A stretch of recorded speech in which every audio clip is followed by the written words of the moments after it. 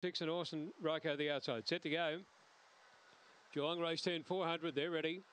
Racing now and very fast away there. Entice on the inside lead, settling down from Zipping Petra. Three lengths away then came Speed Limit racing third. They were followed by Riverdale Ella. But three lengths away then came on the outside Orson Ryko, followed then by Aston Xavier well back. Followed then by Snow Onyx and tailing right out as Agent Rocket. Turning for home though.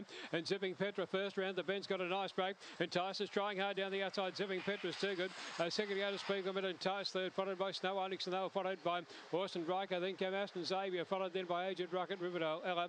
And the time is showing around around 22.82. Time around 8, 22.82. After race number 10, and number three, Zipping Petra, will be the winner here at about $4.20 or thereabouts. 8.39 early, 22.82 the overall time. Number three, Zipping Petra by Zulu Zeus from Zipping Tess. Helen and Helen and Syndicate, Debbie Coleman, the trainer. Number three is first. Number four is run second, Speed Limit. At big odds there for Donna Beasley. Third placing went to two, that's Entice. Marjorie Quick, fourth in number nine, and that was Snow Onyx. On race number 10, numbers there are three, four,